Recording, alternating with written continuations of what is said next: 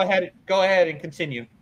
Now we're gonna be moving on. So Toddy, I'm gonna swing this to you last. Please save the facial expressions. Let's get to the first three guys. Hold the applause. and, and we'll get going. So, John, I'm gonna swing it to you first. Factor cap. Luka and Kyrie are the best duo in the NBA Finals. This is cap because uh, if I recall, and I could be wrong, as I was with Kyrie stats earlier. So, granted, I could be wrong here, but if I recall, Kyrie Irving, despite making it to one, two, three, now four NBA Finals, has he won a conference uh, Finals MVP yet? Has has Kyrie Irving Yeah, won a Bron. The conference didn't exist, but I, I love I like where this is going, John. So as long as we can use this in the LeBron GOAT debate, I'm all in. In-season MVP, I'm with all that shit. I Well, hope I got like 10. well, all I'm saying is is that Jayson Tatum won the Eastern Conference Finals MVP in 2022. Jaylen Brown won it in 2024. Obviously, Luka Doncic won it in the West this year. But Kyrie, okay, whether if it was existent, whether if it existed or not, Kyrie hasn't done it yet. Kyrie also didn't win NBA Finals MVP, the one championship that he has won. There's no So- way. He won it. No, If you there wanna is say no that, way. if You but- got an All Star MVP. Kyrie would have had to man. average sixty. Well, he was. I mean, he was right, especially in that game five. It was like forty-one and Got forty-four or whatever. Um, but anyways, just to keep this brief on my end, um, because I do have one more segment for after this. This is Cap. Uh, Luka and Kyrie Irving are not the best duo in the NBA Finals because it's clearly Jayson Tatum and Jaylen Brown who are gonna get theirs. Garry, they're gonna get theirs. Kevin, This time. All right, Garry. look at gonna- look I'm at Shaun gonna swing it to fully hopping on the Celtics bandwagon. Vaughn, you got somebody.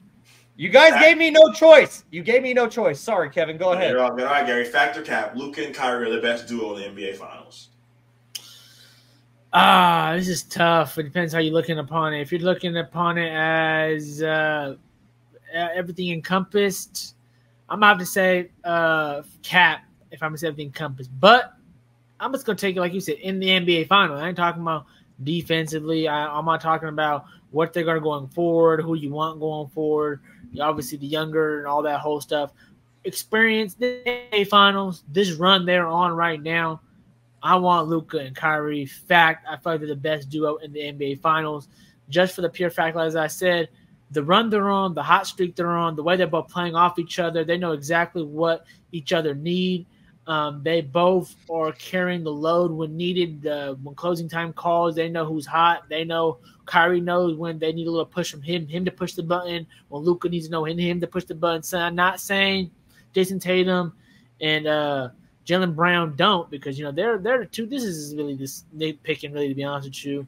And obviously, I'm really to honest leaning because I picked Dallas, so I don't think and I'm really I think their duo is going to average more points, and I, that's why I think they're going to win. So, in terms of points, in terms of clutchness, in terms of uh, rising to the moment, in terms of experience, maybe in terms of basketball IQ, all these little things, they beat this. Uh, they beat the Tatum and Brown matchup slightly, just slightly. I feel like, and yeah, I think that's that's why I got Luka and Kyrie as the best duo in this NBA Finals. But I wouldn't, you know, like I just said, slightly. You know, I wouldn't say it's by landslide or anything like that because the other two guys deserve their credit. I know we're just bantering and messing around, talking a lot of smack right now because it's that time of the year. But that team got two pit bulls in their team, and Jaylen Brown's been proven that you know he could be a number one guy himself, maybe, especially because the money he got paid, and he's proven that he deserves every penny of it. So.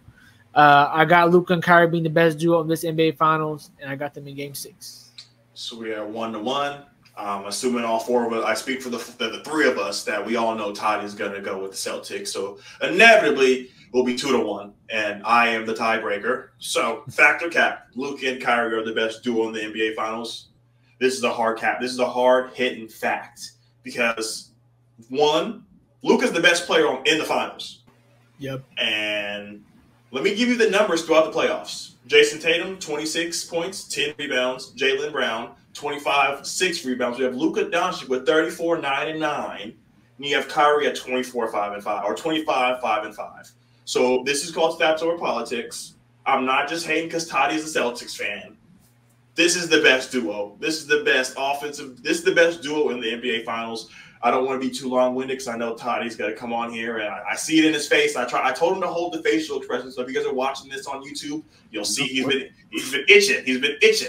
So I'm going to swing it over to him next. But this is for sure a fact. I think Luka and Kyrie are the best doing the NBA Finals. Before I swing it over to you, what you got, what you got Garry?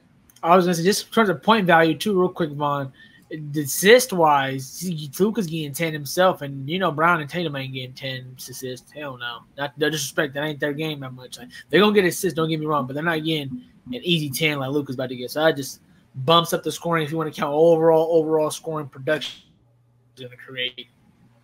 But go ahead. All right, Toddy. Fa- should I just say cap or cap, I guess? Factor cap. Luka and Kyrie are the best duo in the NBA Finals.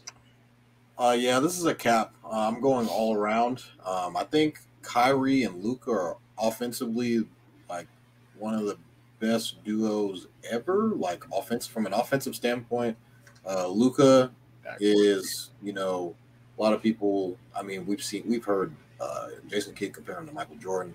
Kyrie is come is up there. Obviously, Kyrie, I don't know if it's a secret or not, but Kyrie Irving is obviously my favorite basketball player in the NBA. Um, so it's like paining me to say this, um, just because Kyrie Irving is offensively one of the best basketball players ever. Like he's in that. I believe he's an NBA top seventy-five best basketball Should have been. Um, so I'm looking at from a standpoint of the two Jays um, who averaged uh, close to 30 in, in the last series. Um, from a defensive standpoint, being able to pick up uh, big defensive st- uh, assignments. Um, from a rebounding standpoint, uh, Jayson Tatum is one of the best rebounders in the NBA. Um, from a scoring standpoint as well. So I'm looking at from a, to- in a totality standpoint, um, offensively, defensively, rebounding. Um, I think it's the Jays. Um, their success at the age that they're at as a duo um, is is slim to none to compared to a bunch of other duos um, in NBA history.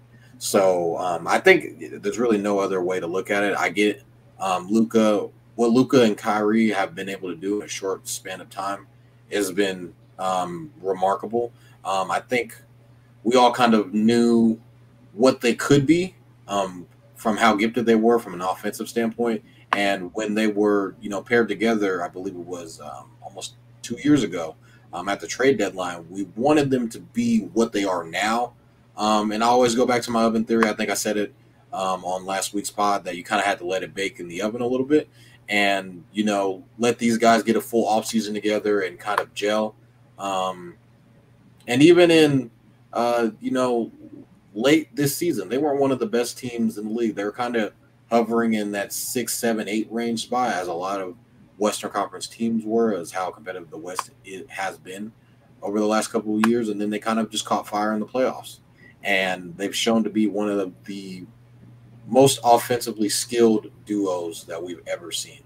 Um, but as a, in a totality standpoint, um, the success that the two Jays have have had at this um, young age that they have it at the, that they have had it at, and you know the experience, the scoring, the defense, um, the passing. I'm just looking at from a totality standpoint. I, I do agree with Kevin that Luka Doncic is the best player in the series, um, but I do believe that the Celtics have the best duo. So I'm going to say that this is a cap. Um, Luka Doncic and Kyrie Irving are not the best duo in the NBA Finals. All right, well, that does it. That does it for